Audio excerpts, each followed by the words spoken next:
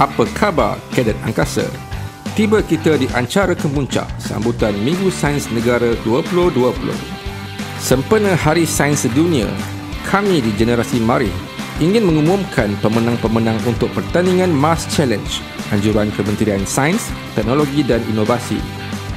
Tahniah kepada semua yang menghantar video reka bentuk dan teknologi Mars Base anda. Ingin kami maklumkan yang proses memilih para pemenang agak rumit memandangkan kuantiti dan kualiti persembahan yang kami terima. Selepas menilai kesemua persembahan, kami ingin mengumumkan para pemenang untuk setiap kategori umur. Mereka akan menerima hadiah-hadiah menarik. Semua peserta akan menerima sijil penyertaan. Tahniah semua atas usaha anda.